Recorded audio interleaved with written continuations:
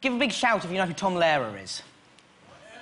Yes. People know Tom Lehrer. Yes, so over there, yes, they couldn't be more excited. Okay, okay. So Tom, Tom, like Tom Lehrer, in, in my opinion, is the cleverest and funniest man of the 20th century, and I just, he's kind of my hero. And he wrote a song called The Elements because he was a scientist, and it's basically it's the name of every element in the periodic table.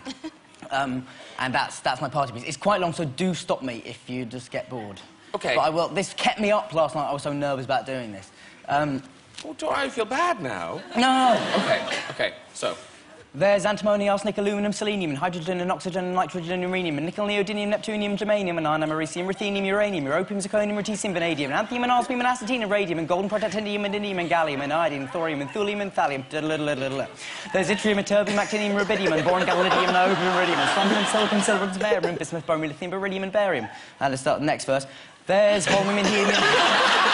There's holmium and helium and appium and erbium, phosphorus and francine and fluorine and terbium, and manganese and mercury and molybdenum, magnesium, dysprosium and scandium and cerium and cesium. There's lead, praseodymium, platinum, plutonium, palladium, promethium, potassium, polonium, and tantalum, technetium, titanium, tellurium, and cadmium, and calcium, chromium, and curium. There's sulfur, californium, and fermium, berkelium, and also mendelevium, arseninium, nobelium, and argon, radon, neon, zinc, ah, and argon. Hold on, quiet, quiet.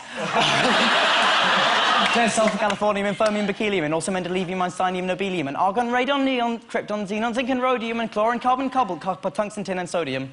Now, clap.